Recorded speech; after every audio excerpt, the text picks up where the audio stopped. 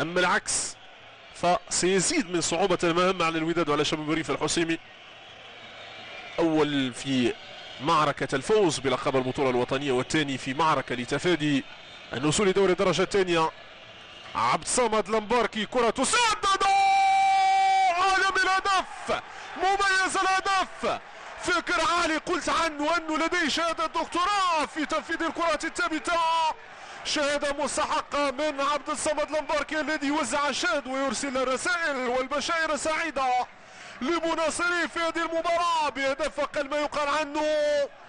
أنه بالروعة من مكان. هدف رائع جدا لشباب الريف الحسيمي من قدم عبد الصمد لمباركي. ما خلاه ما خلاش حد لعبد الزوير العروبي لكي يبدي ردة فعل.